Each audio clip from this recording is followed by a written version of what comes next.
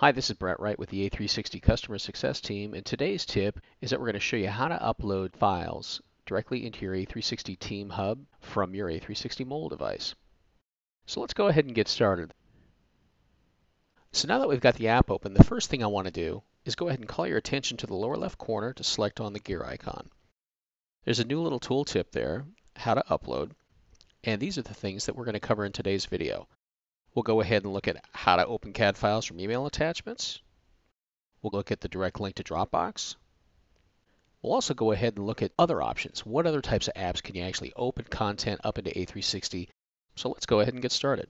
The first one is how to go ahead and upload from an email. So what I'm going to do is go ahead and select on my email. I've already got the file selected here. I'm looking at the email. I'm going to go ahead and upload this DWFX file.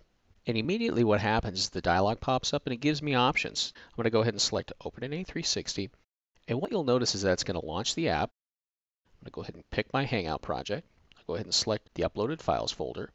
And then from here, I'm going to go ahead and hit Select. And what you'll notice is that it says it's uploading the file. Please don't close the app. And actually, the even nicer thing is that you can be notified when ready. I'll go ahead and select Notify.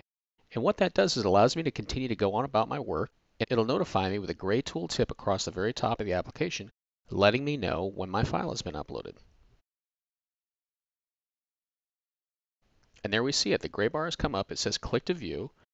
And what that'll do is it'll actually launch the file directly within the application and it'll go ahead and load it. So the next thing we'll do is we'll go ahead and close that out. I'm going to go back to our project view and call your attention to the plus sign in the upper right corner of the application. This here, you'll notice there's a couple of selections. Upload from Dropbox, take a photo, choose photo, add a new message, or the thing that we just did where it says, hey, did you know you can open designs from email attachments? We just did that, so I can go ahead and select got it because now I know that tip. From here though, I want to go ahead and just select from Dropbox. It'll allow you to log right into your Dropbox account and go ahead and select your content from there. Grab one of the Fusion files here that we've got it'll say, hey, where do you want to put that file? What project do you want to put it in? I'll go ahead and select the same location and hit select. And now you'll see, hey, your file is being prepared for viewing and will be ready soon. Again, the same notification will come across the top bar when that file is ready to be available for viewing. So we'll continue to go on to the next section where I show you how to upload content not from Dropbox, but from Google Drive. Exit out of the application, click on the Google Drive icon, and look for the folder that I've created. I've selected and put one file in this folder. Go ahead and select on that.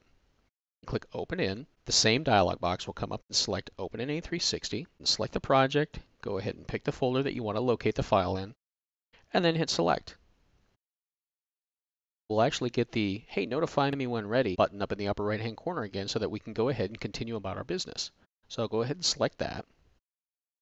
When the file is ready to be viewed, we'll get a gray banner across the top of the application and view the file.